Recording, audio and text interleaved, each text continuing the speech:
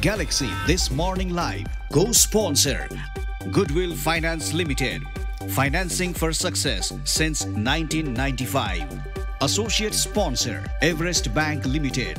Digu Darilo Raviswasilo Nepal Ul House. Hotahiti Asan Kathmandu.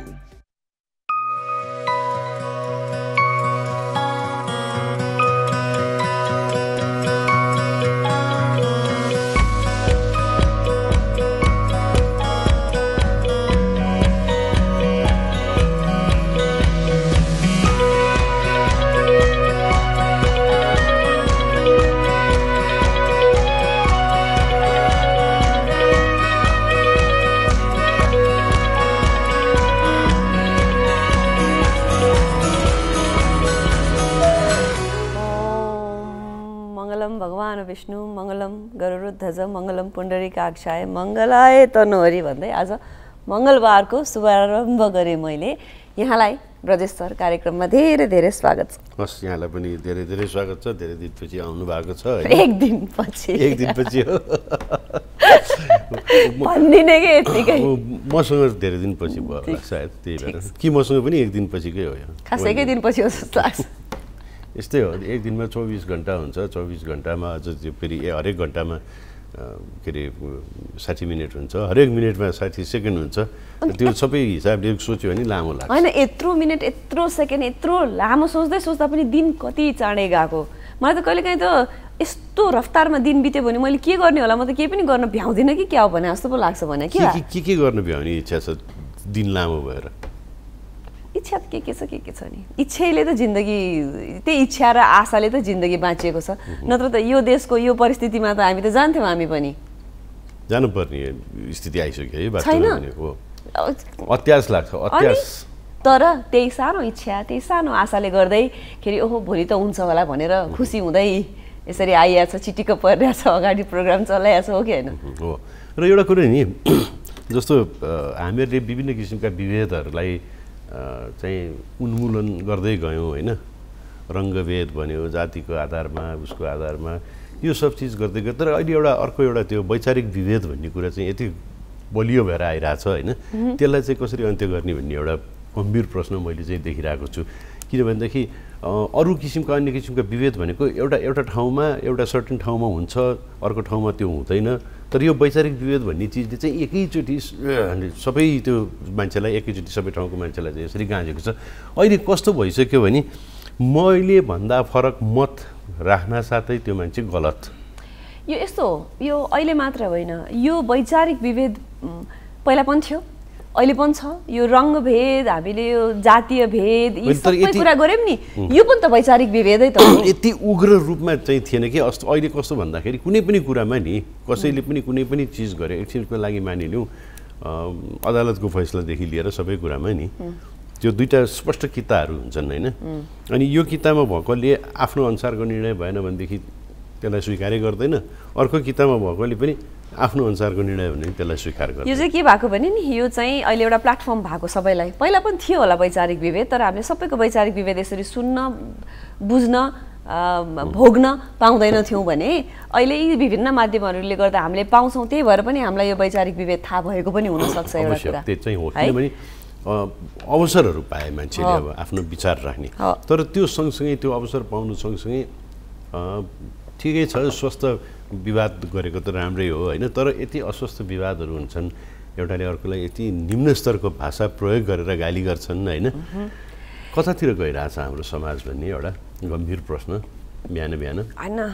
त्यो। प्रश्नको उत् उत्तर के भन्नु होइन? त्यो प्रश्नलाई चाहिँ मैले कसरी हेरेँ भने हुन त अङ्ग्रेजीमा पनि भनाइ छ नि एभ्रिथिङ इन मोडरेसन भनेर। हाम्रा पहिला पहिला हाम्रै नेपाली उखानै गर्ने हो भने पनि अमृत पनि धेरै खायो भने विष हुन्छ भनेर भने जस्तै यो चिज पनि हरेक चिज एउटा मोडरेसनमा जहाँ पनि एउटा फाइन लाइन ड्र गर्ने योभन्दा बढी चाहिँ नगर्ने है भन्ने खालको एउटा हिसाबको एउटा चाहिँ चाहिँदो रहेछ कि। त्यो चाहिँ चाहिन्छ स्कुलमा प्रिन्सिपल भए जस्तो। अलिकति नत्र भने हामी ह्युमन बिइङ छ नि हे आएर जाँदा रहेछौँ। त्यो भन्दै के नपुग्या के नपुग्या कहाँनिर नुन पुगेन भने जस्तो भएर मैले सूर्योदय सूर्यास्त भने होइन रहेछ नुन हालिदिइहाल्नु है छत्तिसमा सूर्योदय र छ तिन सिक्स थ्री जिरोमा सूर्योदय सिक्स जिरो थ्रीमा सूर्यास्त छ हेर्नु यति लामो दिन छ। लिस्ट बनाउनु न लिस्ट बनाउनु। आज दिनभरि के के गर्ने भनेर ल अनि अनि प्रोडक्टिभ हुनुभयो कि भएन आफैले आफैलाई चेक गर्नु। किनकि अहिले यो यस्तो भइसकेको छ नि आफूले आफ्नो हेक्का राखिएन भने त कहाँ पुगिन्छ कहाँ पुगिन्छ यो भिडमा हामी? तर पहिले पहिले कस्तो लाग्थ्यो भन्दाखेरि एक दिनमा थुप्रो काम गर्न भ्याइन्थ्यो जस्तो लाग्छ होइन? अहिले चाहिँ एक दिनमा दुईवटा काम लिएर मान्छे निस्क्यो भने दिन पुरै सिद्धिन्छ। यसमा म गएँ भने म होल प्रोग्रामै किन सकिन्छ दिन भनेर भन्न सक्छु त्यही भएर म त्यतातिर लागिनँ होइन। आजको कुरा गर्छु है म चाहिँ। कुरा गर्दा आजको दिनको कुरा थाहा छ के अरे माझी एउटा समुदाय छ नि होइन? माझी समुदाय। अब अहिले त झन् माझी समुदाय पपुलर भएको छ किनकि यो ढोक्साको कुरा सबले गराएको रहे होइन अनि अनि मलाई यो भन्दाखेरि चाहिँ कहाँ जालिस मछली मेरै ढडिया भन्ने एउटा एउटा त्यो भनाइ पनि याद पनि आयो। यो माझी भाषामा लदी भने के हो? लदी भनेको नदी। है? उस्तै उस्तै रहेछ कि है त्यो भन्दाखेरि त्यसलाई लदी भनियो भने नदी र नदीलाई चाहिँ आज पूजा गर्ने माझी समुदायले एकदम ठुलो दिन हो। फागुनको तेस्रो मङ्गलबार। अब यो केले भने यसले यसले एउटा मेकसेन्स पनि गर्छ। आफ्नो अर्थतन्त्र भनौँ न आफ्नो जीविकोपार्जन नै त्यही नदीको बेसमा भएर गरिने हुनाले पनि अब हुन त नदी भनेको हामी सबैले पूजा गर्नुपर्ने कुरा हो। प्राकृतिक रूपमा नदी भएन भने हामी आज यसरी हुँदैन थियौँ पनि होला। तर पनि उहाँहरूले चाहिँ आज फागुनको तेस्रो मङ्गलबार आजको दिन लदी पूजा भनेर नदीलाई पूजा गर्नुहुँदो रहेछ। यो नदीलाई ईश्वर जस्तै उहाँहरूले सम्मान गर्नुहुन्छ। अनि हामीले भर्खरै माझी समुदायको कुरा गऱ्यौँ अडचालिस सालको जनगणना अनुसार चाहिँ तिरासी हजार अडसठी सालको जन जनगणना अनुसार चाहिँ तिरासी हजार को जन जनसङ्ख्या रहेछ। उल्लेख्य उल्लेख्य सङ्ख्यामा जनसङ्ख्या उपस्थिति छ र तिमीले भने जस्तै अब नदी उहाँहरूको जीवनको अमु अमूल्य अभुन्न अभिन्न अङ्ग भएको हुनाले ईश्वर मानेर तान्त्रिक विधिअनुसार आज पूजा गरिँदो रहेछ त्यो चाहिँ हामीले फुटेजहरू पनि हेऱ्यौँ। र हामीहरूको यो देशको विशेषता भनेकै त्यही हो कि हाम्रो आफ्ना कल्चरहरू छन् यी सबै चिजहरू आफैमा एउटा एकदमै राम्रो र चित्ताकर्षक चिजहरू हुन्। र यो। चिजहरू कल्चरहरूलाई यिनीहरूको सद अ, प्रादुर्भ के भन्छ यसको? संरक्षण पनि गर्नु पर्यो र निरन्तरता पनि दिनु पर्यो। होइन यो विविधताको बारेमा हेर्दा सुन्दा बुझ्दा मजा आउने कि? मनमा भन्छ नि this things puts a smile on my face भनेको जस्तो रमाइलो पनि हुने। अनि यो नदी पूजाको हकमा कुरा गर्नुपर्दा चाहिँ यसरी नदीलाई पूजा गरिसकेपछि जलदेवीलाई खुसी बनाएर राखिएपछि अरू प्रकोपहरू अन्य नराम्रा कुराहरू हुँदैनन् भन्ने विश्वास पनि रहेछ। फेरि पनि सम्पूर्ण माझी समुदायलाई आज लदी पूजाको हाम्रो तर्फबाट पनि धेरै धेरै शुभकामना। र हामीले त हाम्रो वरिपरिका नदी नालालाई चाहिँ ढल बनाइसक्यौँ? खाइसक्यौँ हामीले त। यस्तो बिजोग बनाइसक्यौँ। अनि उफ्रिन्छौँ कराउँछौँ कुर्लिन्छौँ अनि आफै त्यसमा फोहोर मिसाउँछौँ। जतिसुकै सफाइ गरे पनि त्यो त्यो फेरि त्यसलाई चाहिँ पोहोर गर्ने पनि त्यति नै भइरहेपछि त केही मतलबै भएन नि। ढल लगेर धोबी खोलामा मिसाइदिएको छ। हेर्नुपर्छ त्यो धोबी खोलामा प्लास्टिक बाहेक केही पनि देखिँदैन होइन? प्लास्टिक फोहोर त्यो बाहेक बगेको हुन्छ। कुनै पनि धोबी खोला बागमती, टुकुचा सबै चिज चाहिँ ध्वस्त बनाइसकेका छौँ अब त त्यो नहर नहर भने कति ठाउँमा त नहर जस्तो मात्र पनि छ नहर जस्तो पनि छैन भने पनि हुन्छ। पानी पनि बग्दैन त्यो त त्यो के भन्छ त्यो तलाउ हुन्छ नि लेक फोर लेक जस्तो गरेर जमेर बसेको छ। एनिवेज अलिकति सचेत हामी हुनुपर्ने हो खै अब कम्प्लेन मात्र गरेर पनि हुँदैन सफा गर्ने को त? को? को? को? हामी आफै हो। हामी आफैले आफ्नो यो तर्फबाट फोहोर बनाएको पनि कसले हामीले अनि? सबैले आफ्नो तर्फबाट योगदान नदिकन केही पनि हुँदैन। त्यस कारण everything begins at your home भनेर भन्ने कारण हो तर यो हुनुको पछाडि यो हुनुको पछाडि के भयो थाहा छ हामीलाई? ए तैँले किन फोहोर गरिस्? ए यस्तो गरे पनि थुनामा परिन्छ। ए भन्ने खालको मान्छे नभएर हो। त्यो मान्छे नभएको किन? भन्दाखेरि आजको दिनसम्म आइसक्दा यत्रो राज्यको पैसा खर्च गरेर यत्रो चुनाव गरेर फेरि पहिला जे थियो त्यही हुनु थियो फेरि यही कोलाहल हुनु थियो। अहिले यी के अरे राष्ट्रपति को बन्ने भन्ने होडबाजीले गर्दाखेरि हर एक चिज लथालिङ्ग छ। कुनै पनि चिज सिस्टममा छैन। अब यो चिजले गरेपछि खोला मात्र होइन अब के के चिज बिग्रिन्छ बिग्रिन्छ। दुई महिनाभित्रमा दुईचोटि सरकार ढलिसक्यो भनौँ न होइन? अनि? र अब अहिले फेरि अब एमाले समर्थन फिर्ता लिएपछि प्रधानमन्त्रीले फेरि विश्वासको मत लिनुपर्ने अवस्था सिर्जना भएको छ। कति भन्दा दुई महिना भयो धेरै भएको छैन। यो त अब उहाँको कार्यकालमा कति दुई वर्षसम्मलाई उहाँले अविश्वासको पत्र लिन नपर्ने भनेर यही कार्यक्रममा आफैले भने जस्तो लाग्छ मलाई तर हुनु त्यो परिस्थिति त्यो अनुसार भएन। र यो भाँड भैलो भनौँ न यो राजनीतिक भाँड भैलो यो चाहिँ अझै पनि सिद्धिने लक्षण देखिएको छैन। पन्ध्र गते राष्ट्रपतिको चुनाव हुनेवाला छ। त्यति बेलासम्म के हुन्छ भन्ने कुरा अझै पनि हामीलाई थाहा छैन। होइन यो सबै हुँदै गर्दा पनि नेपाली जनताले विदेश जानु नपरे हुन्थ्यो आफ्नै देशमा बस्नु पऱ्यो हुन्थ्यो अलिकति देशको स्थिर कन्डिसन राम्रो भइदियो हुन्थ्यो। भोलि त केही राम्रो होला कि? हाम्रो देश प्राकृतिक स्रोतले यति राम्रो देश हामीहरू भनेर भन्दै गर्दा आशा गर्दा गर्दा गर्दा गर्दा गर्दा गर्दा यस्ता चिजले चाहिँ ध्याट अ, गल्ती गरिएछ कि क्या हो भन्ने चाहिँ बनाउँछ कि? बनाउँछ। आठ दसजनाको अनि?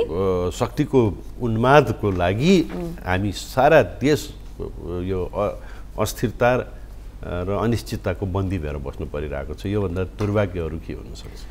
समयको माग अनुसार परिवर्तन हुँदै जानुपर्छ भनौँ न। एकताका राजतन्त्र थियो प्रजा के अरे त्यसपछि पञ्चायतकाल यी सबै कुराहरूबाट फे- फेरिँदै फेरिँदै फेरिँदै आजको दिनमा हामी यहाँ आइसकेपछि चाहिँ अहिले साँच्चीकै हेर्ने हो भने के तन्त्र छ हाम्रोमा? भाँड भैलो तन्त्र? लुटतन्त्र एउटा कुरा चाहिँ म भन्न चाहन्छु तपाईँहरू सबैजनालाई जसले अब सुनिरहनु भएको छ भने पनि अथवा सुन्न भएको छैन भने पनि पछि तपाईँका चेला चपाटाहरूले तपाईँहरूलाई यो क्लिप देखाउलान् सुनाउलान्। जनता प्रेसर कुकर हो। जनता प्रेसर कुकर हो आगो लगाइरहनु भएको छ पिँधमा तपाईँहरूले सिटी लागिरहेछ बेला बेलामा फुस्स गरेपछि एकछिन सिटी लागेपछि फेरि त्यसपछि हामी मात्र हुन्छौँ। तर विचार गर्नुहोस् त्यो सिटी लाग्ने पाल बन्द भयो भने त्यो पड्किन्छ। पड्क्यो भनेदेखि तपाईँ पनि बा मागिरहनुहुन्न त्यो कुरा चाहिँ विचार गर्नुहोस्। न रहन्छ बाँस न बच्छ बाँसुरी भन्थ्यो नि। त्यो नै हुन्छ पनि होला तर तर अति नै भयो त्यही। नेपाली उखानै छ नि त अति भएपछि खति हुन्छ भनेर होइन? त्यो चाहिँ कतैबाट केही पनि किनकि अलिकति आशाको किरण देखिएको थियो। यो पालिको चुनावी माहौलले अलिकति फरक रिजल्ट ल्याइदिँदाखेरि केही होला कि? नयाँ अनुहारहरू छन् केही होला कि भन्ने थियो तर फेरि आएर हामी कहाँ छौँ त भन्दा यो विगतमा जे भइरहेको थियो त्यही नै छौँ। अब अझै पनि आशा गरौँ यो जनतालाई पड्किनु हुने प्रेसर कुकर पड्काउने सिचुएसन चाहिँ यहाँहरूले ल्याउनु हुन्न होला भन्ने हामी आशा गरौँ अब के गर्ने धैर्यको परीक्षा नलिनुहोस् योभन्दा धेरै त्यति हो भन्न सक्ने कुरा। र यो यसैसँग जोडेर कुरा गर्दाखेरि अर्को फेरि सिटी सिटी लाग्ने कुरा चाहिँ है। एकचोटि फेरि फुस्स गर्नुपर्ने कुरा छ। सात महिनामा फेरि गरे केही गरेन भनौँ भने सात महिनामा साढे चार पाँच करोडभन्दा बढी चाहिँ आर्थिक अनुदान भनेर सहायता भनेर आफ्नो वरिपरिका मान्छेहरूलाई बाँड्ने काम गरेको छ सरकारले। उत्पादन वृद्धि हुने कुरा शिक्षा स्वास्थ्य रोजगारीको लागि खर्च प्राथमिकता दिनुपर्ने होइन? यी सबै कुराहरू कहाँ छन् कहाँ छन् अहिले? भनौँ न अलिकति राम्ररी रोजिएर आएका ल ठिकै छन् नि त। अब शिक्षा क्षेत्रमा केही राम्रो हुन्छ कि जानेका बुझेका मान्छेहरू औदामा छन् भनेको थियौँ। त्यो पनि अहिले लत्था हालिदिन सबै चिजहरू भइसक्यो। तर पूर्व कुनै औदा लिएर बस्नुभएका व्यक्तिहरूलाई खर्च भनेर बिरामी खर्च यो खर्च यो भत्ता भनेर यति धेरै पैसा खर्च गरिएको छ। त्यो अहिलेको समयमा गर्ने त्यही हो। जसको शक्ति उसको भक्ति भएन यो? त्यही त पूर्व राष्ट्रपति रामवरण यादवको लागि पच्चिस लाख रुपियाँ दिएको छ। त्यस अघि उहाँको लागि साठी लाख रुपियाँको अनुदान दिइएको थियो सहायता दिइएको थियो। अमेरिकामा गएर उपचार गर्नको लागि झलनाथ खनाललाई मृगौला प्र- को प्रत्यारोपण र त्यो सम्बन्धी उपचारको लागि भनेर पटक पटक गरेर चालिस पैँतालिस लाख रुपियाँ दिइसकिएको छ र हुँदा हुँदा कतिसम्म भन्दाखेरि भुटानी मानवाधिकारवादी नेता टेकनाथ रिजालको स्वास्थ्यको उपचारको लागि भनेर पनि दुई पटक सत्ताइस सत्ताइस लाख रुपियाँ सरकारले अनुदान उपलब्ध गराइसकेको छ। ठिक? छ। सहयोग गर्न सकिन्छ राज्यको ढुकुटी बलियो छ पैसा छ आर्थिक रूपमा सम्पन्न मुलुक छ भने गरौँ। होइन? तर नगरौँ भनेको होइन तर आफ्नो आफ्नो औकात पनि हेर्नुपर्छ आफ्नो ढुकुटी पनि हेर्नुपर्छ एकातिर सबै चिज एउटा अर्थ अर्थतन्त्र हाम्रो यस्तो भएर गइरहेको छ सञ्चिति घट्दै गएको छ भनेर भन्छौँ आत्तिन्छौँ बेला बेलामा। तर हामी अब जनताको लागि चाहिँ के गर्ने भन्दाखेरि जनताको लागि कुनै योजनाहरू छैनन्।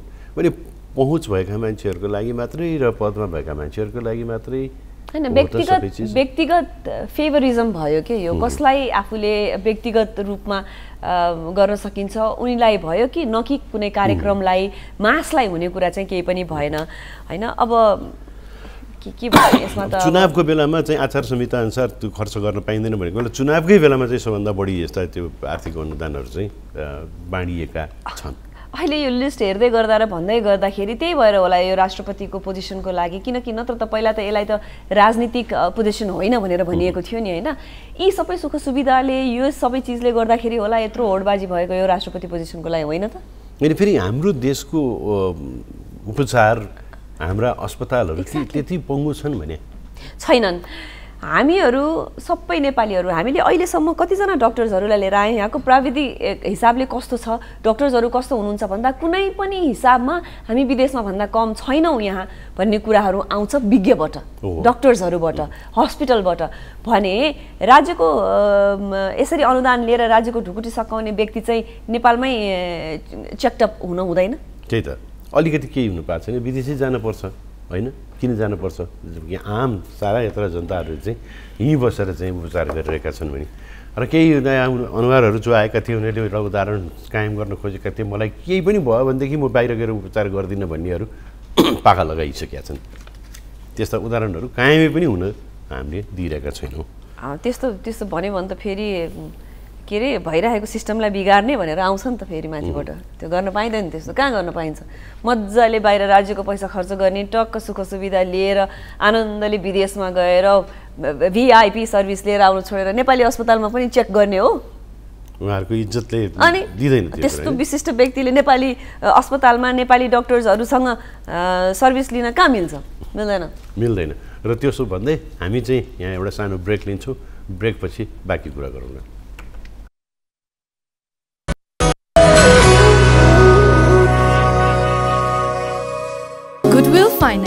financing for success since 1995.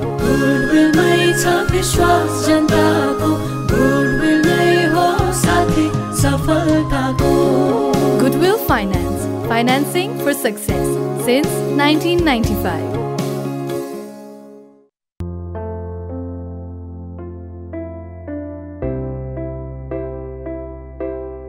हरेक दिनको हिसाबले साना साना इच्छा पुरा हुन्छ।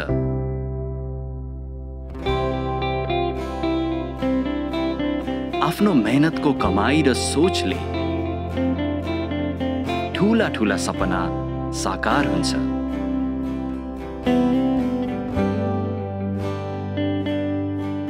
हिजो गरेको जोहोले आजको जीवन सुखद हुन्छ। थोपा थोपा पानीले विशाल सागर बन्छ थोरै नै किन नहोस् बचत गर्ने बानी बसालौँ एभरेस्ट ब्याङ्क दिगो दरिलो र विश्वासिलो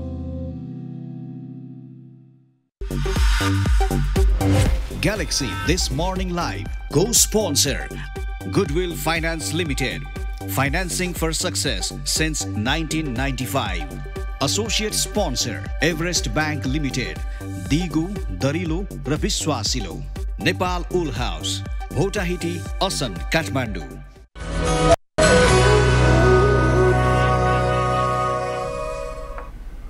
यो छोटो ब्रेकपछि यहाँलाई पुनः स्वागत छ ग्यालेक्सी दिस मर्निङ लाइभमा साँच्चै आज त आज वेदर पनि भनिएन है। हिजो अस्ति अस्ति पानी पऱ्यो होइन? अस्ति पानी पऱ्यो पानी परेपछि अलिकति चिसो चिसो जस्तो भयो तर यो पानीले यो खैरा पातहरूलाई सफा गरिदिएको हुनाले यसो हेर्दैखेरि पनि आनन्द आयो कि क्या आँखालाई भने जस्तो भएन भने? अस्ति बेलुका पानी पऱ्यो होइन। हिजो बिहान हामीले प्रोग्राम चलाउँदा त्यसको बारेमा केही बोलेनौँ होला त। त्यही त। बोलेनौँ होला त। मैले किन आज पानी पऱ्यो भनेर? कहाँ किन अस्ति पुगेँ अस्तिको पानी पुगेको कुरा चाहिँ हामीले हिजै भनिसक्यौँ त्यो। ठिकै छ त। मैले फेरि आज भन्न नपाउँछु भन्ने छ र। ल अस्ति पानी परेको कुरा कि तैँले आज भन्न पाउँदिनस् भन्नु पर्यो? अब फेरि पानी पर्छ कि पर्दैन भन्ने चाहिँ कुरा गर्नु अब त नपर्ला। अब नपर्ला अलिकति। ओहो त्यो पानी पर्दाखेरि यत्रोसम्म पानी नपरेको त्यो माटोको बास्ना डिडी फिल इट क्या मजा आयो? मजा आउँछ। कस्तो मजा आयो? यो मौसमको पहिलो वर्षाले हिजो साँझ एक्लै रुझायो। मुहारभरि तिमीले चुमे चाहिँ लाग्यो पानीको थोपाले जब बिझायो भन्ने एउटा कुनै अघि के अरे त्यो माइक अन हुनुभन्दा अगाडि यो यो मैले यो हाम्रो यो हाइलाइटर एउटा नयाँ किसिमको आएको छ। अनि मैले यो चाहिँ मेरो चाहिँ लेमन फ्लेभर भनेको यो के फ्लेभर एकचोटि जा जस्तो थियो। सुन्तला।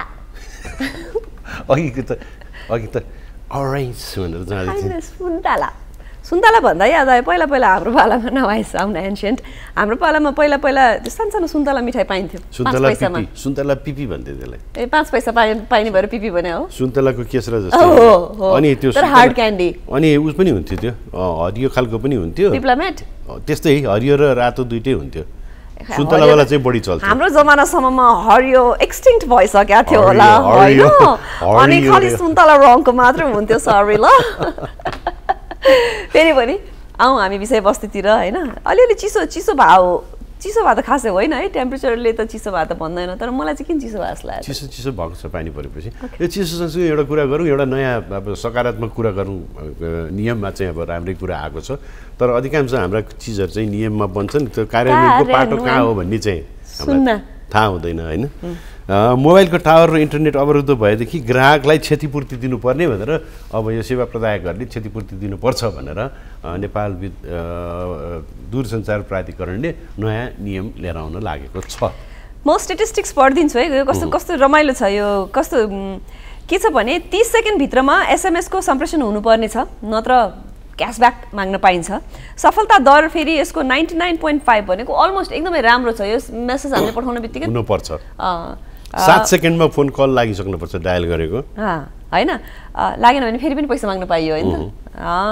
र के भनिएको छ भने सहरी क्षेत्रमा मोबाइल नेटवर्क उपलब्ध चाहिँ पचासी प्रतिशत नेटवर्क उपलब्ध हुनुपर्छ भने हाइवेमा पचहत्तर र ग्रामीण क्षेत्रमा भने पैँसठी प्रतिशत चाहिँ नेटवर्कको उपलब्धता हुनुपर्छ।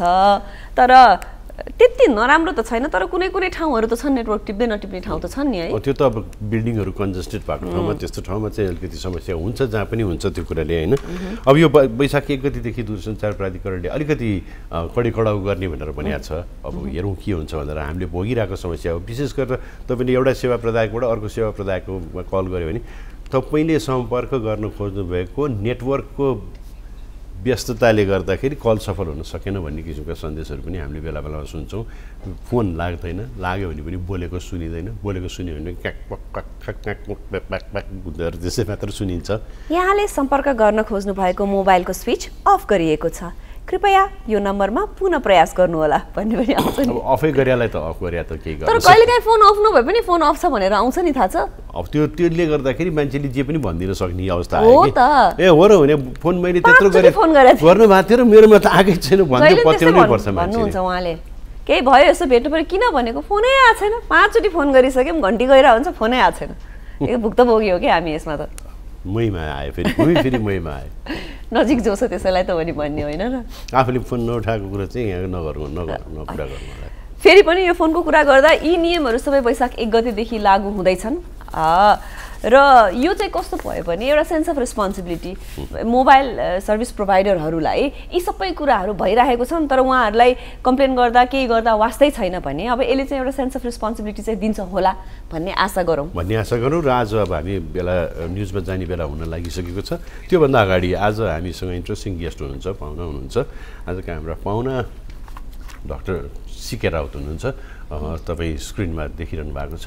उहाँसँग हामी अहिलेको वर्तमान राजनीतिका बारेमा विभिन्न किसिमका कुराकानीहरू गर्ने नै छौँ अहिलेलाई चाहिँ अब न्युजको बेला होइन न्युज लिएर आउँदै हुनुहुन्छ को गौतम रेग्मीजी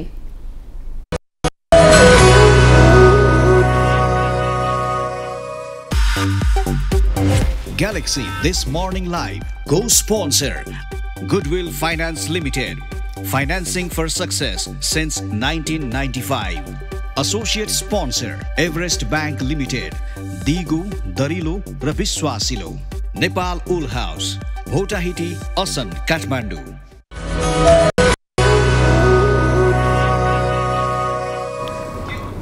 ग्यालेक्सी न्युज र यो छोटो ब्रेकपछि यहाँलाई पुनः स्वागत छ ग्यालेक्सी दिस मर्निङ लाइभमा अघि न्युजमा जानुभन्दा अगाडि आज हाम्रा आउन लाग्नुभएका पाहुनाको बारेमा छोटकरीमा हामीले केही भनेका थियौँ। हजुर उहाँलाई हामी प्रस्तुत गर्नेछौँ यो सानो इन्ट्रोडक्टरी भिडियोपछि डाक्टर चन्द्रकान्त सिके राउत जनमत पार्टीका अध्यक्ष हुनुहुन्छ। सप्तरीमा जन्मिएका राउतले क्याम्ब्रिज विश्वविद्यालयबाट विद्यावारिधि गर्नु भएको छ। अमेरिकामा कम्प्युटर वैज्ञानिकका रूपमा समेत काम गरेका डाक्टर राउतका आधा दर्जन पुस्तक प्रकाशित छन्। युवा इन्जिनियर पुरस्कार महेन्द्र विद्याभूषण कुलरत्न गोल्ड मेडल जस्ता सम्मानबाट विभूषित भइसकेका डाक्टर राउतले स्वदेश फर्किएर स्वतन्त्र मधेस अभियान चलाउँदै पछि जनमत पार्टी स्थापना गर्नुभयो। गत निर्वाचनबाट प्रतिनिधि सभा सदस्यका रूपमा मात्र होइन नयाँ शक्तिका रूपमा उदाएका तिनै डाक्टर सिके राउत आजको हाम्रो अतिथि हुनुहुन्छ। हो यिनै डाक्टर सिके राउत आजको हाम्रो अतिथि हुनुहुन्छ। डाक्टर साहब यहाँलाई कार्यक्रममा धेरै धेरै धन्यवाद। धन्यवाद। धेरै धेरै स्वागत तपाईँलाई समय दिनुभयो धन्यवाद। एउटा प्रश्नबाट म कुराकानी अगाडि बढाउँछु डाक्टर साहब। हाउस अरेस्टबाट हाउस एटेन्डमा पुग्नु भएको छ। त्यहाँ पनि हाउस अरेस्ट गर्न मिल्छ त्यो हाउसलाई। यो इभोल्युसन यो यात्रा संक्षेपमा कसरी सम्झिनुहुन्छ? अब यो निकै नै उतार चढाव भएकै यात्रा हो खासमा। अब नेपालको नयाँ परिवेशमा खास गरी प्रजातन्त्र आइसकेपछि र गणतन्त्र आइसकेपछि पनि कसैलाई हाउस एरेस्टमै राख्नुपर्ने त्यस्तो खालको वातावरण सिर्जना भएको थिएन। भनौँ न एउटा खुला समाज निर्माण भइसकेको थियो। सबैले आफ्नो लोकतन्त्रका अधिकारहरू प्रयोग गरिराखेका थिए। त्यो अवस्थामा त्यो बिचमा चाहिँ मलाई चाहिँ हाउस एरेस्टमै धेरै वर्षसम्म राखिँदाखेरि पक्कै पनि साह्रै नै समाजकै लागि अलि अप्ठ्यारो परिस्थिति थियो। तर हामीले त्यसलाई चिर्दै अगाडि बढ्दै अब अहिले संसदसम्मै पुगेका छौँ र त्यहाँ आफ्नो आवाज राख्न पाएका छौँ। र संसदको पहिलो सम्बोधनमा मैले त्यो कुरालाई उल्लेख गरेको थिएँ। र वास्तवमा मलाई अझै पनि सम्झना छ गृहमन्त्रीज्यूले त्यति बेला हाम्रो नाम पनि संसदमा लिन निषेध गर्नुभएको थियो। अनि त्यो ठाउँमा आफै अहिले उपस्थित भएर जनताका कुराहरू राख्न पाउँदा हामी गर्व नै महसुस गर्छौँ। त्यसको लागि केही तपाईँको आइडियोलोजी केही चेन्ज भयो? त्यसले गर्दाखेरि भयो कि कसरी बन्यो त्यो वातावरण? अब आइडियोलोजी भन्दा पनि अब बाटो फेरिएकै हो? अब बाटो त अब अब के छ भन्दाखेरि पहिला जुन लिएका थियौँ बाटो हामीले त्यो चाहिँ अब संविधानको दायराभित्र पर्दैन थियो। त्यसले गर्दाखेरि त्यसमा चाहिँ अनेक बाधा व्यवधानहरू आउने गरेका थिए। राज्यले हस्तक्षेप गर्ने पक्राउ गर्ने हाउस एरेस्टमा राख्ने बोल्न नदिने कतै सभा गर्न नदिने त्यस्तो खालको थियो। र बडो एउटा रोचक पनि थियो एक हिसाबले। किनकि अब कुनै ठाउँमा कार्यक्रम गर्न गएको छु हातमा माइक समात्न समात्न पाएको छैन पहिला नै पक्राउ गर्ने। अनि मानव अधिकार कर्मीहरूले त्यति बेला भन्नु पनि हुन्थ्यो। उहाँले के बोल्नुहुन्छ भने पहिला थाहा नै नपाइकन किन समातिएको भनेर त्यति बेला भन्नुहुन्थ्यो कि मान मानव अधिकार कर्मीहरूले। अनि त्यस्तो अवस्था थियो। अनि त्यसबाट चाहिँ हामी ल मूलधारकै राजनीतिमा आउने भनेर दुई हजार पचहत्तर सालमा निर्णय गरेपछि र पार्टी बनाएर अगाडि बढेपछि अहिले संसदसम्म हामी पुगेका छौँ। हुन त जहिले पनि देयर इज के अरे दुइटै साइड अफ द स्टोरी सुन्नुपर्छ भनेर भनिन्छ। मैले अघि अफ एयर पनि यहाँलाई भनेको थिएँ।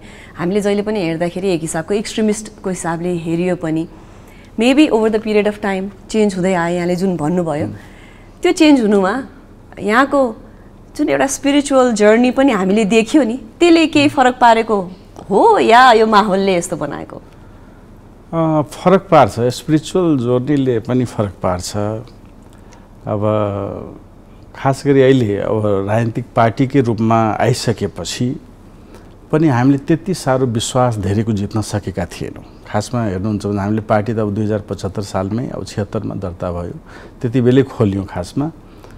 तर त्यही पनि राजनीतिक भेटघाट मेरो हेर्नुहुन्छ भने शून्य थियो। कुनै शीर्ष नेताहरूलाई समेत प्राय भेट्ने गरेको थिइनँ। र अरू सर्कलहरूमा पनि म इन्ट्री लिन पाएको थिइनँ। तर अब सन्यास लिइसकेपछि त्यसमा चाहिँ एकाएक परिवर्तन देखियो खासमा। सन्यास लिइसकेपछि ल यो मान्छेले पनि कसैलाई मान्दो रहेछ गुरु मान्दो रहेछ भनेर एउटा भावना फैलिएपछि सबैले अलि आफ्नो वे ओपन गरेको जस्तो लाग्छ। मलाई अनि भेटघाट पनि दिने। कुरा पनि गर्न चाहने रुचाउने त्यस्तो खालको देखिएको छ। अलिकति पहिला चाहिँ अब भनौँ न एउटा भन्नु भने अलिकति बढी नै आक्रामक खालको इमेज थियो। यो आइसकेपछि सन्यास लिएपछि अलिकति विनम्रता भएको मान्छे रहेछ कि भनेर परेको हो कि जस्तो मलाई लाग्छ। यो परिवर्तन दुईवटा कुराले आउँछ। एउटा रियलाइजेसनले आउँछ एउटा परिस्थितिसँगको सम्झौताले आउँछ। यो परिवर्तन तपाईँको परिवर्तन चाहिँ केले लिएर आएको? यो रियलाइजेसन हो खासमा। अब रियलाइजेसन हो अब हुन त आध्यात्मिक पथमा धेरै लामो समयदेखि नै हामी हिँड्दै आएका थियौँ म हिँड्दै आएको थिएँ तर अब बाहिरी रूपमा त्यो कुरा सबै चाहिँ जानकारीमा थिएन। अब जानकारीमा आएको कुरा चाहिँ यो मान्छे चाहिँ एकदम रेडिकल एजेन्डा बोकेको छ एकदम आक्रामक छ होइन? त्यस्तो खालको भावना अब समाचार गएको हुनाले मान्छेले त्यही खालको स्टेरियोटाइप क्रिएट गरेको थियो। र अहिले चाहिँ अब परिवर्तित इमेज भनौँ एक हिसाबले आएपछि त्यही हिसाबले मान्छेलाई पनि सहज भएको छ एक हिसाबले। तपाईँलाई आफूलाई व्यक्तिगत रूपमा चाहिँ दुइटा सिकेर कुन सिकेर बढी मनपर्छ त अहिले हेर्दाखेरि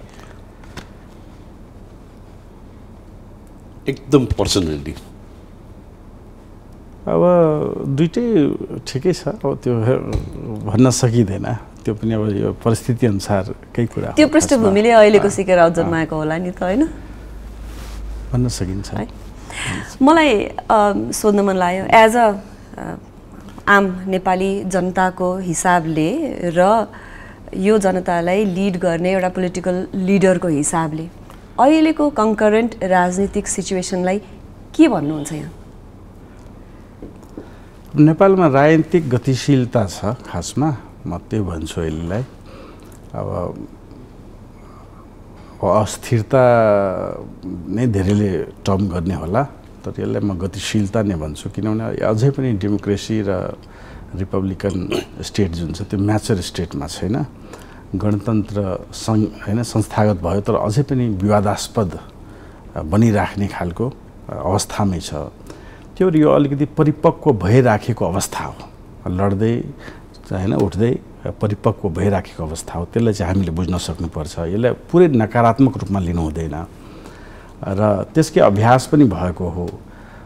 तर हाम्रो पनि एउटा चाहना के छ भन्दाखेरि अलिकति स्थिर योभन्दा अलिकति तुलनात्मक रूपमा स्थिर भइदियो भने देशका जुन प्रमुख एजेन्डाहरू छन् विकासका रोजगारीका त्यतातिर हामी ध्यान दिन सक्थ्यौँ कि भन्ने चाहना चाहिँ हाम्रो पनि हो।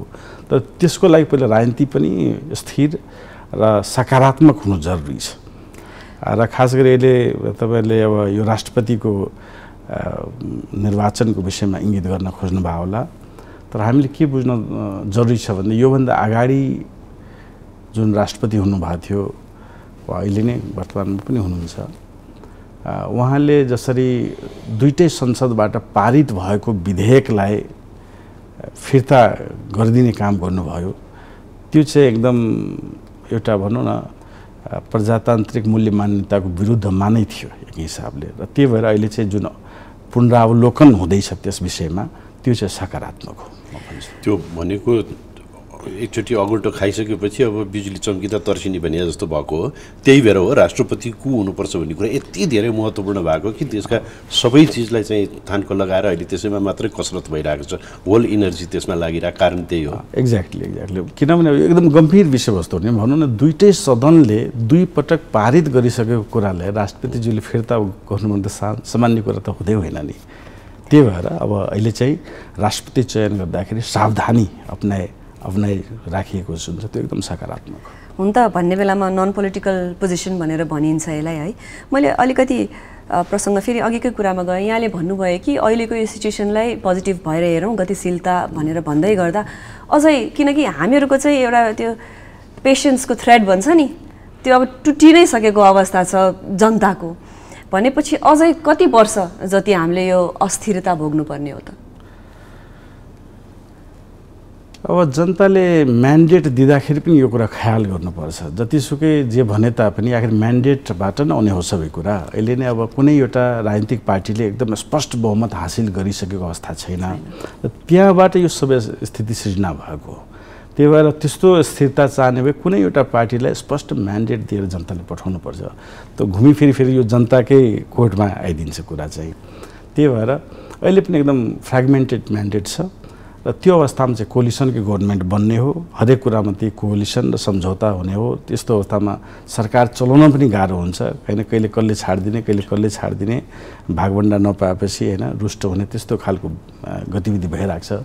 त्यही भएर अब यसको दुईवटा उपाय एउटा चाहिँ अब जनता नै सचेत भए भएर एकदम स्पष्ट म्यान्डेट कसैलाई दिनु पर्यो। अर्को चाहिँ अब व्यवस्थामै अलिकति परिवर्तन जस्तै हामी डाइरेक्ट डेमोक्रेसीको कुरा गर्छौँ प्रत्यक्ष निर्वाचित राष्ट्रियको कार्यकारिणी प्रमुख।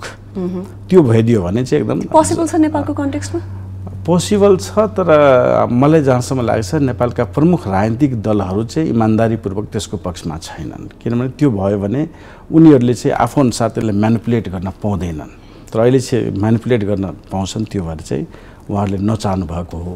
तर जस्तै अहिले भनौँ न गाउँपालिकामा डाइरेक्टली इलेक्टेड भएपछि त मजाले उहाँ काम गर्न सक्नुहुन्छ नि राजीनामा पनि दिन सकिँदैन एक हिसाबले माग्न सकिँदैन त्यस्तो खालको अवस्था। स्ट्रङ होइन पोजिसन क्रिएट हुन्छ।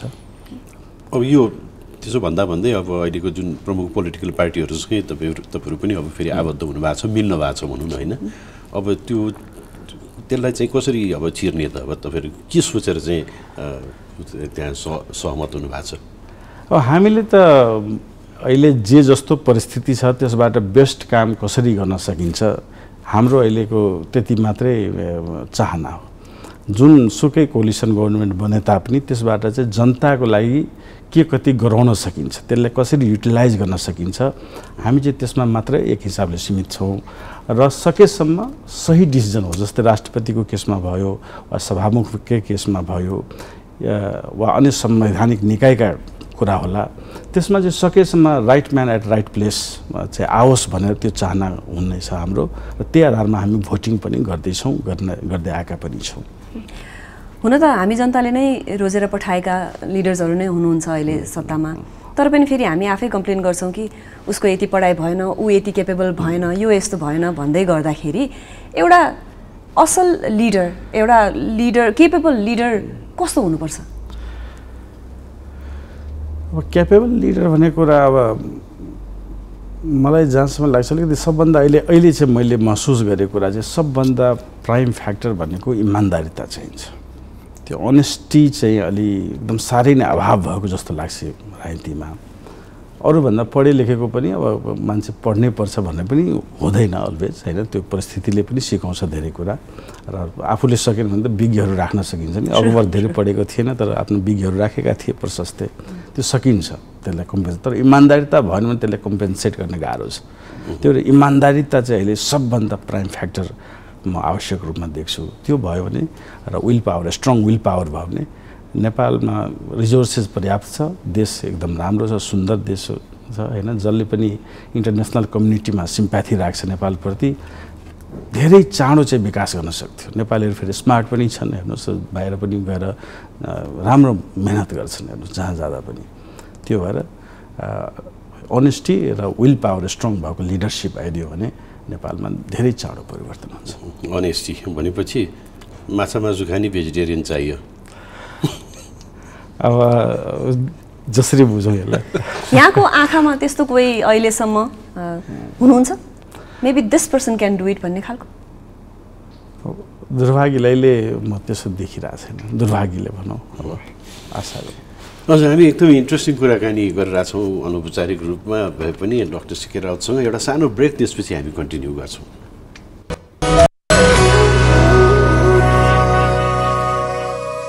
Goodwill Finance, financing for success since 1995. गुडविलमै छ विश्वास जनताको गुडविलमै हो साथी सफलताको Goodwill Finance, financing for success since 1995. थोरै नै किन नहोस् बचत गर्ने बानी बसालौँ Everest bank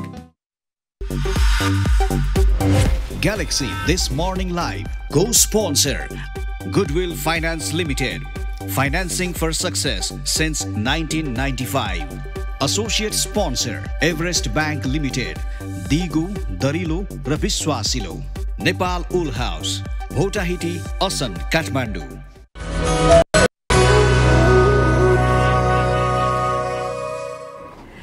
यो छोटो ब्रेकपछि यहाँलाई पुनः स्वागत छ ग्यालेक्सी दिस मर्निङ लाइभमा। हामीसँग जनमत पार्टीका चेयरपर्सन डाक्टर सिके राउतजी हुनुहुन्छ। उहाँसँग हामी कुराकानीको क्रममा छौँ।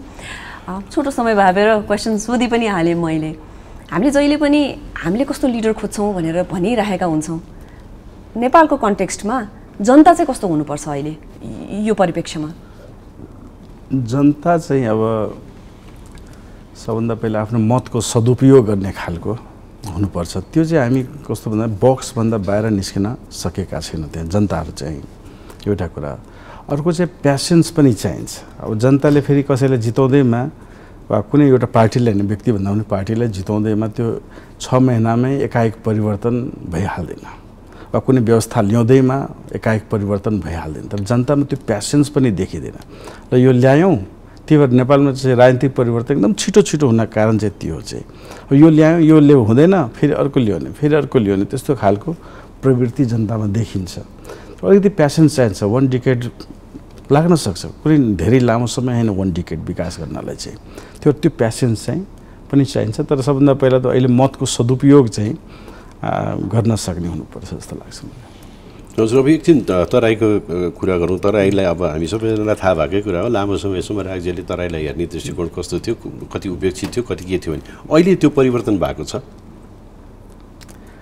खासै परिवर्तन भएको छ जस्तो लाग्दैन मलाई। अहिले पनि? छैन।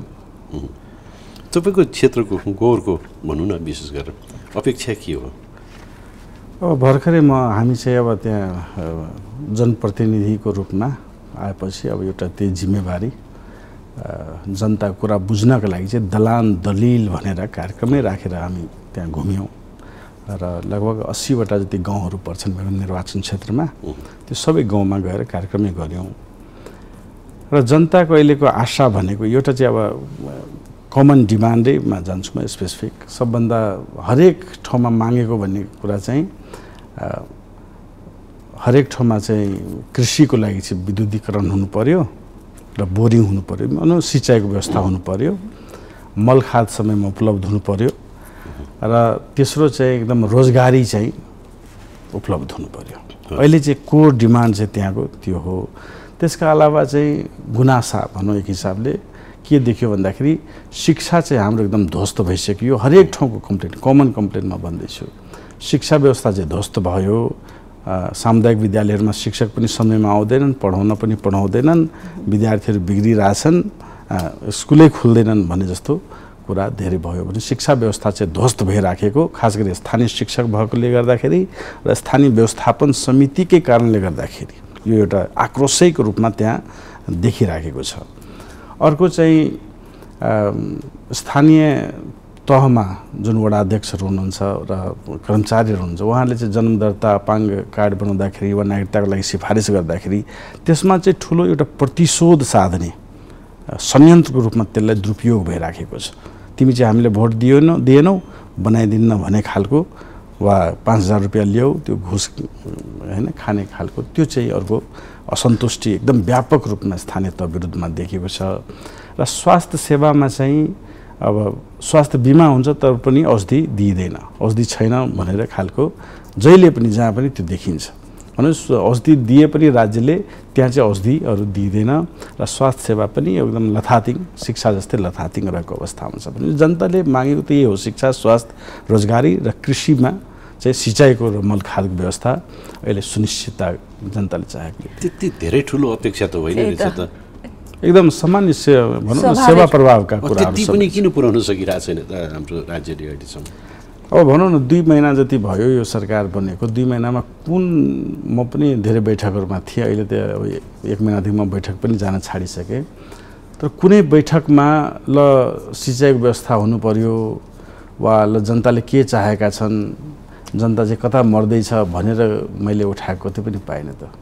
जहिले पनि ल अब चुनावमा के हुन्छ कसले समर्थन दिन्छ कसले समर्थन हटाउँछ कसले राष्ट्रपति बनाउने कसले सभामुख बनाउने यो दुई महिनाको जति पनि बैठक भए सबै शीर्ष नेताहरू हुनुहुन्छ पार्टी अध्यक्षहरू हुनुहुन्छ मैले त्यही पाएँ त्यही भएर मैले बैठक पनि अलिकति अनौठो लगाएर ल योभन्दा बरु त जनताकै बिचमा जाउँ उतै कमसेकम भिजौँ भनेर जस्तो भयो भनेर मैले त्यो बैठकहरू जान छोडेर अझ संसद पनि मलाई बडो अब यो भन्न नहुने हो खासमा इरिलिभेन्ट लाग्न थालिसक्यो। मैले संसदमा भने पनि लास्ट टाइम इरेलिभेन्ट नै छ हामीले हेर्दा सुन्दा पनि त्यस्तै लाग्छ। मैले कसलाई सुनाइरहेको छु भित्ताहरूले सुनाइरहेको छु मैले भने पनि खुला शब्दमा धेरै नरमाइलो पनि लाग्यो होला त्यहाँ।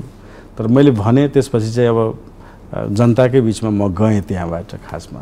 त्यो भएर अब त्यो बैठकहरू संसदहरू जनताको समस्यालाई समाधान गर्नेतिर अहिलेसम्म केन्द्रित भएकै देखिँदैन खासमा।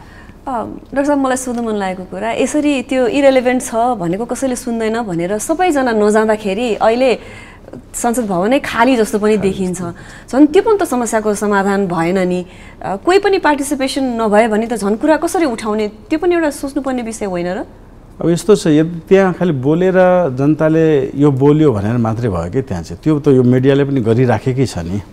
फरक चाहिँ भएन। र हामीले त्यहाँ आवाज पनि मैले पनि उठाएको थिएँ कि त्यहाँ चाहिँ जुन जुन मुद्दाहरू कमसेकम उठिराखेको छ त्यो कुनै सामान्य मान्छेले उठाइराखेका होइनन्। जनप्रतिनिधिले निर्वाचित जनप्रतिनिधिहरूले उठाइराखेका छन् भने सरकार चाहिँ त्यो संसदप्रति जवाबदेही हुनुपर्छ।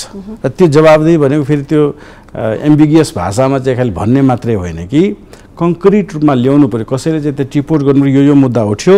अर्को पटक संसद बस्दाखेरि त्यसमध्ये कतिवटा सम्बोधन भयो त पहिला चाहिँ सभामुखले त्यो क्ल्यारिफाई गर्नु पऱ्यो। अनि मात्रै अगाडि बढ्ने।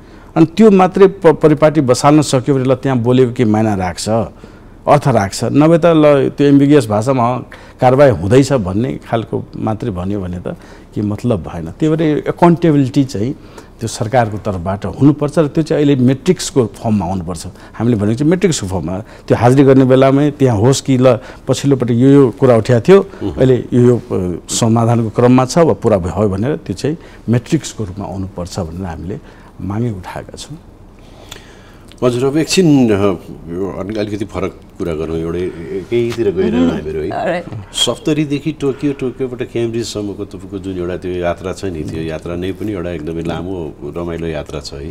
त्यसको बारेमा केही बताइदिनुहोस् न कसरी भयो के भयो यो सम्भव कसरी भयो? अब मेरो जन्म भनेको त्यही सप्तरीको महादेवा गाउँमा हो। मैले प्राथमिक विद्यालय त्यहीँ गाउँमै गरेँ। माध्यमिक विद्यालय गाउँबाट बाहिर अब माध्यमिक विद्यालय गाउँमा छैन। बाहिर भवनगाउँमा कट्टीबाट गरेको हुँ। त्यसपछि म यहीँ काठमाडौँमा पुल्चोक क्याम्पसबाट ब्याचलर्सम्म ब्याचलर इन इन्जिनियरिङ बिए गरेको हो। र त्यहाँबाट चाहिँ अब हायर एजुकेसनको लागि भनौँ न स्कलरसिपमा अब जापानै किन गयो भन्दाखेरि स्कलरसिप फुल स्कलरसिप त्यहाँ पाइयो भनेर मात्रै हो। अरू चाहिँ केही रिजन छैन। जापान गएँ। अब जापानमा पढ्दा पढ्दै अब धेरै उथल पुथलहरू पनि भयो। त्यति बेला एकपटक सन्यासी पनि बनौँ बनौँ भएर हिँड्या पनि थिएँ बिचमै छोडेर। तर फेरि बाटैमा समातेर अनि त्यहाँबाट चाहिँ क्याम्ब्रिज गएँ। र क्याम्ब्रिजमा अलि रेडिकल माइन्डसेट चाहिँ त्यहीबाट आएको खासमा। हुन त पहिलादेखि नै थियो तर अलिकति फल्ने फुल्ने वातावरण पाएको चाहिँ क्याम्ब्रिजमा हो खासमा। रेडिकल भन्दा पनि भयो पुरै एनार्किस्ट भन्दा पनि हुन्छ त्यहाँ चाहिँ त्यस्तै खालको कल्चर पनि छ। र त्यहाँबाट चाहिँ क्याम क्याम्ब्रिजबाट चाहिँ अमेरिका वरिष्ठ वैज्ञानिकको रूपमा गएँ। र वरिष्ठ वैज्ञानिकको रूपमा गएपछि त्यहाँ चाहिँ अब भित्रदेखि के चाहना थियो भन्दा अब ड्रिमर त जहिले पनि थिए होइन? बच्चामा पनि हिँड्दाखेरि ल म ठुलो भएपछि यो सब झुप्रा घरहरूलाई चाहिँ एकदम मोडेल बनाइदिन्छु भन्ने खालको सपना त पहिला पनि देख्थेँ। अनि अमेरिकामा वैज्ञानिक हुँदाखेरि केही नेताहरूसँग मधेसका नेताहरूसँग भेटघाट हुँदाखेरि अलिकति वाद विवाद जस्तो भनौँ डिस्कसन जस्तो भयो। उहाँले चाहिँ एकदम मधेस विकसित भइसक्यो भन्ने मैले चाहिँ होइन अझै पनि उस्तै छ भन्ने। अनि उहाँहरू कुरा सुनेपछि साँच्चै विकसित भइसक्यो कि भनेर म चाहिँ आएँ। मेचीदेखि महाकालीसम्म यात्रा गरेँ। अनि त्यो यात्रा चाहिँ मेरो लागि एकदम लाइफ टर्निङ इभेन्ट त्यो यात्रा गर्दाखेरि अब मान्छेका के कस्ता अपेक्षाहरू छन् होइन? मजदुर भए किसान भए मुक्त कमैया कमदारी भए सबैसँग भेट्दाखेरि चाहिँ होइन मेरो त आवश्यकता यहाँ छ। होइन म चाहिँ यिनीहरूको लागि जति सकिन्छ अहिले गरौँ भनेर चाहिँ त्यहाँबाट अमेरिकाबाट फर्किने निर्णय गरेँ। र त्यसपछि चाहिँ फर्केर आएपछि अब त्यही भयो। समाधान चाहिँ के छ त? अब केही समाधान देख्दिनँ यस्तोमा अनि एकदम रेडिकल त्यो नहुँदासम्म चाहिँ समाधान छैन भनेर त्यो अभियानमा लागेपछि पटक पटक पक्राउ गर्दै राजनीतिक यात्रा यसरी सुरु भएको? यो दुइटैलाई जोडेँ मैले दुईवटा प्रश्न यहाँलाई। मान्छे किन सन्यासतर्फ लाग्छ एउटा प्रश्न? र अर्को भनिन्छ नि अल इट टेक्स चाहिँ राइट ठाउँमा एउटा राइट मान्छे भयो भने परिवर्तन गर्न सकिन्छ भनेर सुनेका पनि छौँ हिस्ट्रीमा पनि देखियो। आफू त्यो व्यक्ति हुँ जस्तो लाग्छ कि लाग्दैन? अनि त्यही फेरि सन्यासको प्रश्न पनि दुइटा एकैचोटि। अब सन्यास म लगभग पहिलोचोटि चाहिँ सन् दुई हजार चारतिर लिने प्रयास गरेको हुँ। त्यति बेला त्यो गेरुवा वस्त्र धारण गरेर भनौँ न कन्याकुमारीसम्म पुगेको मान्छे पनि हुँ खासमा। र त्यति बेला चाहिँ के किन भन्दाखेरि त्यति बेला चाहिँ अर्कै पाटो थियो। त्यो बेला चाहिँ के थियो भन्दाखेरि जापान जानुभन्दा अगाडि के थियो भन्दाखेरि हामी चाहिँ एउटा ट्रान्जिसनिङ सोसाइटी हौँ। होइन यहाँ चाहिँ अब सबैको एसपिरेसन हुन्छ। किनभने यहाँ डेभलपमेन्ट भइसकेको छैन। अनि ल म चाहिँ यो बन्छु म पैसा कमाउँछु वा म एकदम न्युयोर्कमा घर किन्छु वा एक्टर बन्छु वा फुटबलर बन्छु त्यस्तो खालको एसपिरेसन हुन्छ खासमा।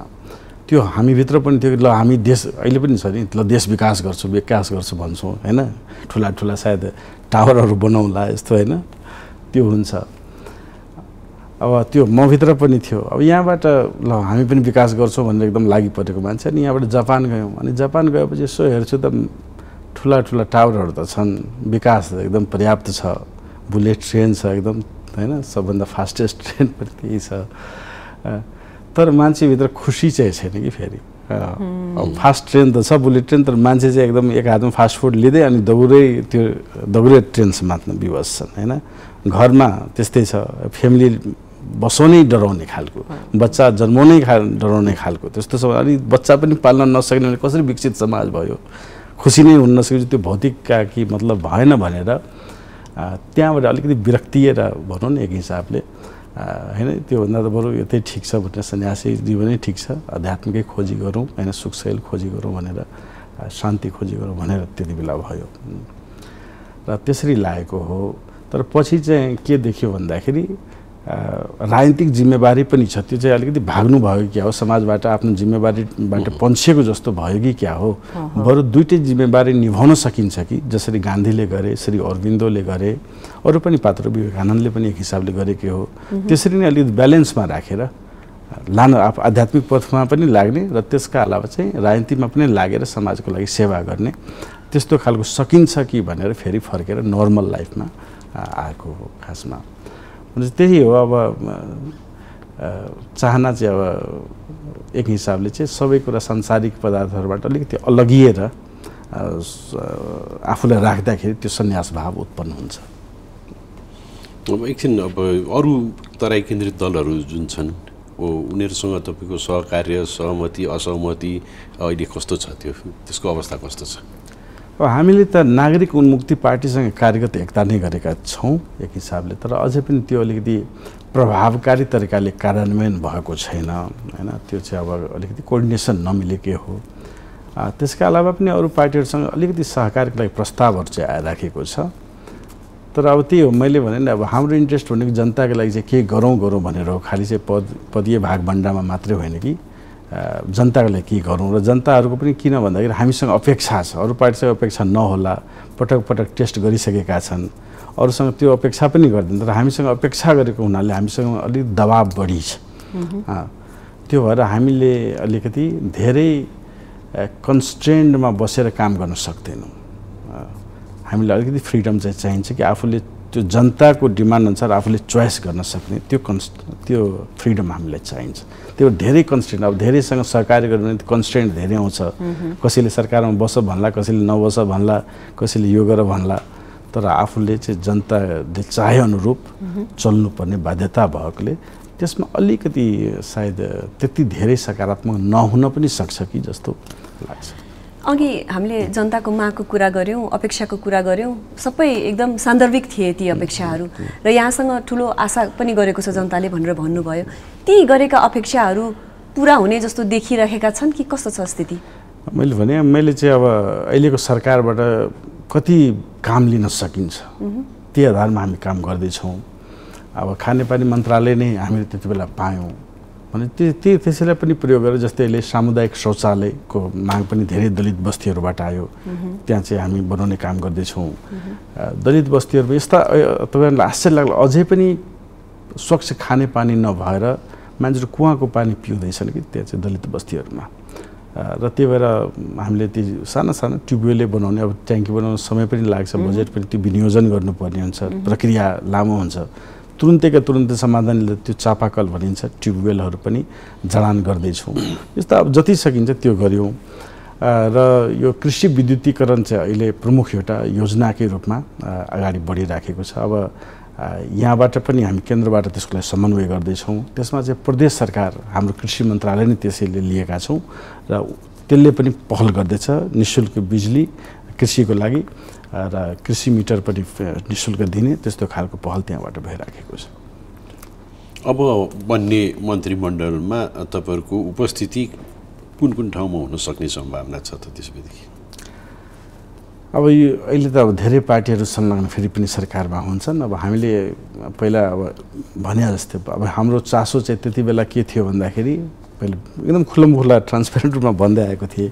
उद्योग कृषि र ऊर्जा मन्त्रालय पनि हो। अहिले ऊर्जा किन भन्दैछौँ भन्दाखेरि अहिले जहाँ जाँदाखेरि पनि के भन्दै भन्दाखेरि कृषिको लागि विद्युतीकरण गर्नु पर्यो त्यो ट्रान्सफर्मर राखेर अर्कै ग्रिड चाहियो र सिँचाइको व्यवस्था हुनु पर्यो। त्यसको लागि चाहिँ अहिलेको मन्त्रालय ऊर्जा र सिँचाइ मन्त्रालय पनि उपयुक्त हो।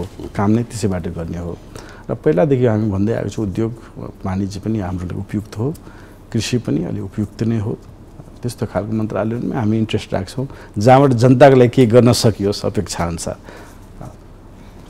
आम, हामी कामको लागि भनेर खाडी मुलुक धेरै जान्छौँ। अथवा अहिलेको युथहरू विदेश एकदमै धेरै जान्छन्। यहाँ आफू बाहिर गएर पढेर यसरी आफ्नो देशमा आएर बस्नु भएको छ। अबको पाँच वर्षमा कस्तो हुन्छ होला पोलिटिकल सिचुएसन र युथलाई के छ मेसेज अब त्यहाँ जानुभन्दा अगाडि चाहिँ अब के छ भन्दाखेरि अब युथलाई त हाम हामीले के भने युवालाई? अब युवाहरू चाहिँ बाध्य भएर नै विदेशिएका हुन्। यहाँ काम भएपछि त किन विदेशी हुन्थ्यो र आफ्ना साना साना नानीहरूलाई छोडेर त उनीहरूले जाने रहरै हुँदैन नि?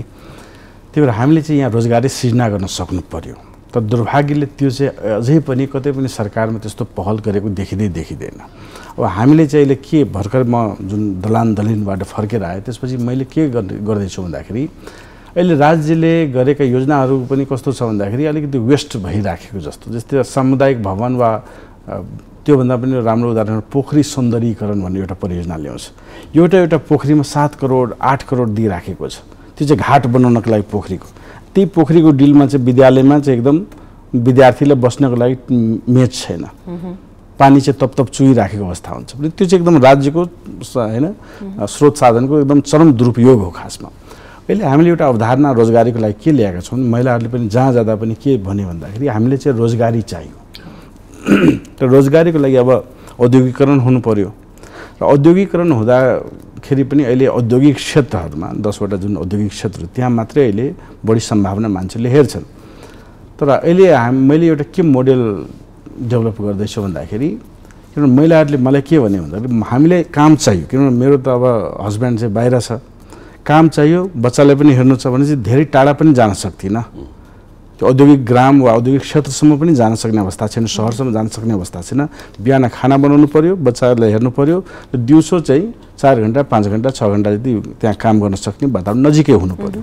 त्यही भएर मैले हामीले चाहिँ के डेभलप गर्दैछौँ भन्दाखेरि एउटा चाहिँ ग्राम औद्योगिक भवनको कन्सेप्ट चाहिँ। अहिले सामुदायिक भवन चाहिँ हरेक गाउँ गाउँमा बनाइराखेको छ। त्यो कहिले काहीँ प- अक्कल झुक्कल मात्रै प्रयोग हुने गरेको छ। त्यो बराती आउँदाखेरि मात्रै प्रयोग हुने गरेको छ। नभए अन्यथा त्यसको दुरुपयोगै भएको छ।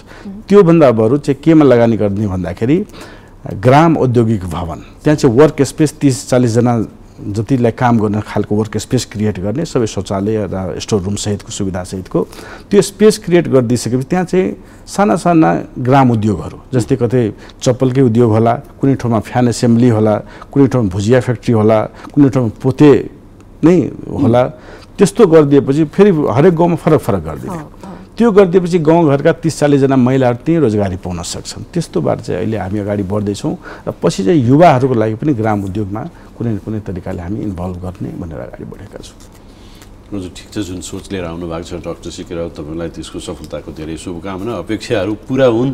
तपाईँले समय दिनुभयो हामी दङ्ग पऱ्यौँ हाम्रो तर्फबाट तपाईँलाई एउटा सानो एउटा ए, धन्यवाद सफलताको लागि धन्यवाद र आज अब हामी पाहुनासँग बिदा माग्छौँ बिदा मागेर फेरि ब्रेक लिन्छौँ ब्रेक लिएपछि अनि फेरि हामी उपस्थित हुन्छौँ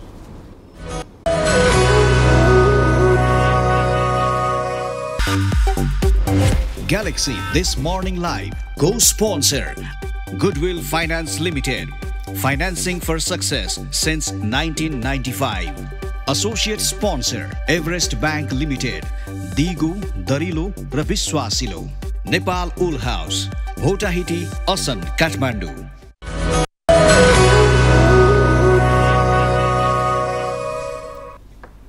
हाम्रा पाहुनासँगको यो रमाइलो कुराकानी र छोटो ब्रेकपछि आज मङ्गलबारको बिहानीमा यहाँहरूलाई स्वागत छ। मसँग हुनुहुन्छ सरिता र ब्रजेश। कुरा बुझे पुग्छ अब हामी अलिकति छोटकरीमा एउटा हाम्रो रेगुलर नियमित सेगमेन्टको कुरा गरौँ जुन चाहिँ नेपाल एयरलाइन्सले तपाईँहरू समक्ष प्रस्तुत गर्ने गरेको छ today in history Today in History. Brought to you by Nepal Airlines. द्वारा प्रायोजित टुडे इन हिस्ट्रीमा यहाँलाई स्वागत छ आज साँच्ची आजको दिन हुँदैन थियो होला भने त हाम्रो त फेसन इन्डस्ट्रीमा त एउटा के भन्छ धमाका नै मचि मचिँदैन थियो होला है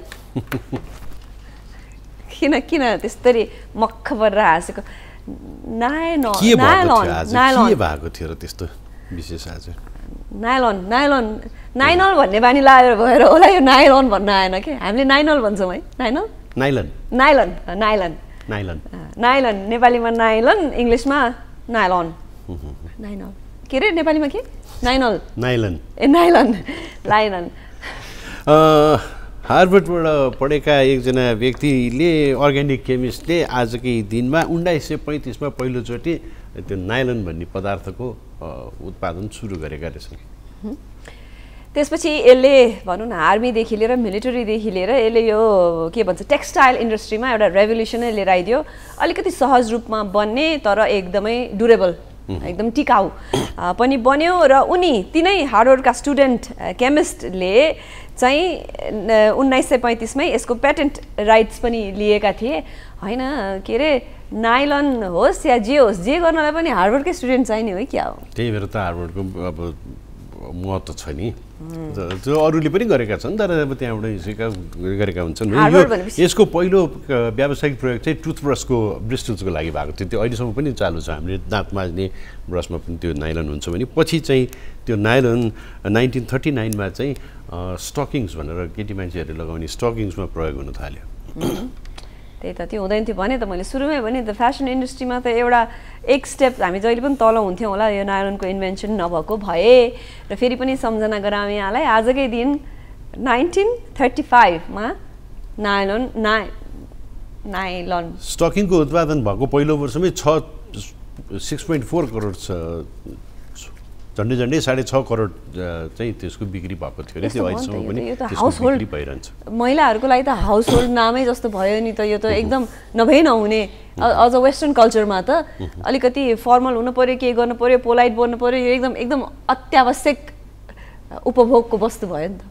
त्यो कच्चामा लाग्छ? पुरुषहरूले चाहिँ किन प्रयोग गरेन त्यो प्यान्ट लाउँथे नि त पुरै फुल कभर हुन्थ्यो भने महिलाहरूले चाहिँ अब स्कर्टहरू लाउने भावेर खुट्टा देखिने हुनाले प्रयोग गरे। तर यदि पुरुषलाई पनि गर्न मन छ भने रोक लगाइएको चाहिँ छैन। एन्टाई के अरे इलिगल चाहिँ होइन यो पनि। इन्डिगल त होइन तर प्रयोगमा आउँदैन अब गर्दैनन् प्रयोग गर्दैनन्। मन छ भने मैले सहप्रस्तुतालाई लिएर आइदिउँला एउटा किनेर।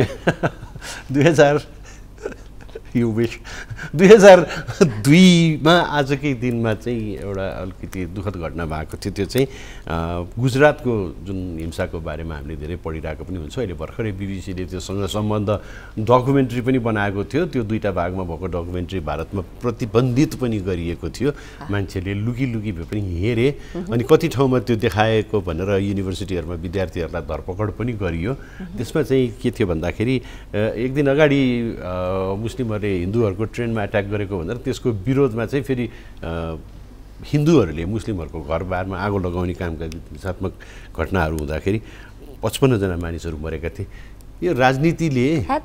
यो हिन्दू मुसलमान भनेर भिडाउने धर्मको नाममा भिडाउने यो सबै चिज भिडाउने यो सबै चिज चाहिँ राजनीतिले गर्छ राजनीतिले प्रयोग गर्ने हतियार हो यो। एकदमै हो यो फोरी राजनीतिको हतियार बन्ने चाहे हिन्दू हुन् चाहे मुस्लिम हुन् पर्ने चाहिँ निमुखा जनताहरू नै हुन् होइन? अब यो चाहिँ जनताले रियलाइज नगरेसम्म यो खेल रहि नै रहन्छ। फेरि पनि यो बिबिसीबाट देखाइएको यो डकुमेन्ट्रीलाई किन एकदमै रोकाइयो देखाइएन अथवा देखाइयो भनेर पनि हडप हुनुको पछाडि चाहिँ यसमा हाम्रा छिमेकी राष्ट्र भारतका मोदीज्यू। तत्कालीन गुजरातका चाहिँ मुख्यमन्त्री हुनुहुन्थ्यो। त्यतिखेर गुजरातका मुख्यमन्त्री हुनुहुन्थ्यो। उहाँ मोदीज्यूको पनि इन्भल्भमेन्ट रहेको भनेर देखाइएको हुनाले पनि यो अलिकति कन्ट्रोभर्सियल भएको पनि हो। फेरि पनि विगतको कुरा गरौँ या आजकै दिनसम्म पनि यो धर्मलाई लिएर विविध यस्ता घटनाहरू भइ नै राखेका हुन्छन्। त्यो हिंसाको कुरा गर्दाखेरि नि त्यो मान्छेलाई त्यो घृणा भन्ने चिज भड्काइदिएपछि त्यो कसरी भड्किँदो रहेछ भन्ने कुरो सुकेतु मेहताको एउटा किताब छ म्याक्सिमम सिटी भन्ने असाध्यै धेरै चर्चित किताब हो तपाईँले धेरैले पढ्नुभयो होला। त्यो चाहिँ विशेष गरेर बम्बेको बारेमा लेखिएको किताब हो। अमेरिकन अमेरिका बेस्ट जर्नलिस्ट हुन् सुकेतु मेहता। उनले त्यहाँ त्यो किताब लेख्नुको लागि त्यहाँका चाहिँ अन्डरवर्ल्डका मान्छेहरूदेखि लिएर स्लमका मान्छेहरूदेखि लिएर ब्रथलका मान्छेहरूदेखि लिएर शिवसेनाका प्रमुखसम्मका मान्छेहरूलाई चाहिँ फिल्म इन्डस्ट्रीका मान्छे अन्डरवर्ल्डको मान्छे सबैसँग इन्टरभ्यू गरेर लेखेको त्यो किताब होइन। त्यसमा एउटा दङ्गाको बारेमा एउटा सुनिल भन्ने एउटा क्यारेक्टर छ। त्यो क्यारेक्टरले भनेको कुरा छ कि सधैँभरि वर्षौँदेखि त्यो कम्युनियल हार्मोनी यस्तो राम्रो थियो। सधैँ वर्षौँदेखि मेरो मोहल्लामा म पान खाने एउटा पसल थियो। त्यो पान पसल त्यो पान पसल मुसलमानले मुसल मुस्लिम मान्छेले चलाएको पान पसल। सधैँ त्यहाँ खान्थे दाजुभाइ जस्तो सम्बन्ध थियो। तर जब त्यो हिन्दू मुस्लिम दङ्गा बढ्क्यो पहिलोचोटि म त्यो मर्तेलको क्यान लिएर निस्किँदाखेरि मैले त्यही मान्छेलाई अगाडि देखेँ त्यसैलाई खनाएर आगो लगाइदिएँ। मान्छेभित्रको दानवलाई चाहिँ त्यसरी त्यो यो र यसलाई क्यास गर्ने भनेका यी राजनीतिक कर्मीहरूले हुन्। राजनीतिक कर्मीको लागि सबैभन्दा ठुलो व्यापार भनेकै यो धर्मको नाममा नि- अ, निम्त्याउने दङ्गा फसाद। उनीहरूको लागि सबैभन्दा राम्रो व्यापार हो। त्यही भएर ती व्यापारीहरूलाई मौलाउन चाहिँ हामीले दिनु भएन चाहे जुन धर्म हामीले मानौँ। एउटा आस्था मात्रै हो। यो अर्कालाई यी यी- फोहोरी खेल खेल्नेहरूलाई हामीले त के भन्छ पोस्ने मात्रै हो कि यो गर्ने भनेको। फेरि पनि अब यो विषयवस्तुलाई यो गुजरातको दुई हजार पाँचमा भएको यो दङ्गा अ, लाई हामीले आजको दिनमा सम्झ्यौँ। यसले धेरै नै व्यक्तिहरू त्यतिखेर मरे नि है धेरैजना मानिसहरू मरे पनि। अब चाहिँ हामी स्पोर्ट्सतिर जाने बेला भएको छ। यो विषयमा कुरा गऱ्यौँ भने अझै अर्को एक घन्टा हामी कुरा। गर्न सक्छौँ। त्यति धेरै कुराहरू छन् होइन? स्पोर्ट्सको कुरा गर्दाखेरि क्रिकेट विश्वकप लिग दुईको अन्तर्गत त्रिकोणात्मक एक दिवसीय सिरिज जुन अहिले भइरहेको छ युएमा नेपाल र पपुवा गिनीको बिचमा हिजो खेल भएको थियो जुन चाहिँ नेपालले चार विकेटले जितेको छ दुई सय तिन रन मात्र बनाएको थियो पपुवा न्युगिनीले जुन नेपालले दुई सय सात रन चाहिँ पैँतालिस पोइन्ट दुई ओभरमा छ विकेटको क्षतिमा प्राप्त गर्यो नेपालको राम्रो खेल प्रदर्शन जारी छ। तर अब एसिड टेस्ट भनेको चाहिँ युएसँगको गेम जुन हुन्छ त्यो चाहिँ एसिड टेस्ट हुन्छ जुन मार्च दुईमा हुन्छ। हो मार्च दुईमा युएसँग हुँदैछ भने आज पनि एघार बजेर पन्ध्र मिनटमा अहिले केही घन्टापछि दुबईको इन्टरनेसनल स्टेडियममा युएई र पपुवा न्युगिनीको खेल हुँदैछ भने हामीहरूको चाहिँ युएईसँग मार्च दुईमा र यो कहिले फागुन पच्चिस गते र चैत दुई गते सम्म यो सिरिज चैत दुई गतेसम्म रहने रहेछ रहेछ यो सिरिज चाहिँ। र हिजो स्पोर्ट्सको क्षेत्रमा अब एउटा प्रतिष्ठित फिफाको चाहिँ पुरस्कार समारोह हिजो सम्पन्न भयो अघिल्लो वर्षको खेलको आधारमा। फिफाले विभिन्न विधामा men's player women's player coach लगायतका जुन गोलकिपर भनेर उत्कृष्ट पुरस्कार दिन्छ। त्यसमा हिजो फिफाको best men's player award Lionel मेसीले जित्न सफल भए भनेदेखि गोलकिपर अर्जेन्टिनाकै मार्टिनेज र कोच पनि अर्जेन्टिनाकै लियोनल स्कलनीले जितेका थिए। त्यस्तै गरेर केही मैले महिला विनर्सहरूको नाम पनि छ मसँग। बेस्ट वुमेन्स कोच भनेर सरिना विगम्यानले त्यो टाइटल हासिल गर्नुभयो भने लगातार तेस्रो पटक हो? अनि बेस्ट वुमेन्स प्लेयर्स चाहिँ अलेक्सिया पुटेलाजले पाउनुभयो। त्यस्तै गरेर वुमेन्स बेस्ट वुमेन्स गोलकिपर भने मेरी अर्ब्स मेरी अर्ब्सले बेस्ट वुमेन गोलकिपरको टाइटल पाउनुभएको छ। सबैजनालाई धेरै धेरै बधाई। लालिगा के अरे यो लालिगा मात्र भन्न आयो अब लालिगाको कुरा आज नगरौँ। धेरै फुट फुटबलका गेमहरू आज हुन्छन् त्यसको बारेमा कुरा गर्ने हामीसँग समय भएन यो अवार्ड प्रतिष्ठित मानिन्छ ब्यालन डियर पछिको प्रतिष्ठित पुरस्कारको रूपमा यसलाई मानिन्छ।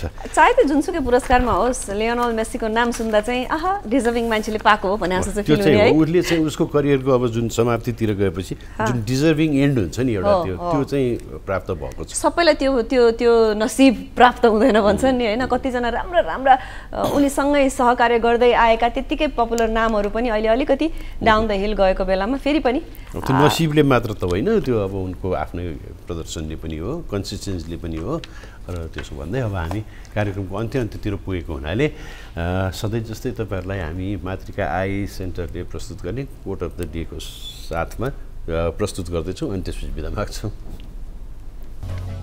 Quote of the day brought to you by Matrika Eye Center. आज हामीले लिएर आएको quote American British author Henry जेम्सको quote लिएर आएका छौँ जुन कोट हामी यहाँलाई स्क्रिनमा राखिदिन्छौँ। र हाम्रो ब्रजेश सरले हामीलाई पढेर पनि सुनाइदिनुहुन्छ भने उल्था पनि ए गरिदिनुहुन्छ पढेर मैले सुनाउने? हजुर। पढेर चाहिँ यहाँले सुनाउने हो कि भन्ने सोचेको हुन्छ थ्री थिङ्स गर्नु पर्ला होइन होस्। सिम्पल सिम्पल कुरा छ साधारण कुरा छ तर असाध्यै महत्त्वपूर्ण कुरा छ। उहाँले भन्नुभएको थियो three things in human life are important the first is to be kind the second is to be kind and the third is to be kind हामी मानव प्रा जाति यसरी मानव बनेर जन्मिसकेपछि हामीलाई चाहिने सबैभन्दा इम्पोर्टेन्ट कुरा भनेकै यही हो। सद्भाव माया करुणा प्रेम। त्यति भयो भने जिन्दगी एकदम रमाइलो बित्छ र तपाईँको आजको दिन पनि सद्भावमय करुणामय मायामय प्रेममय रहोस् भन्ने आशा गर्दै र यो हेन यो हेनरी जेम्सको कोट मेरा सहप्रस्तुतालाई पनि लागु होस् भन्ने आशा गर्दै भने कि म चाहिँ काइन्ड छैन? बिदा माग्यो तपाईँहरूसँग हामीले नमस्ते अब मलाई केही भन्नु छैन।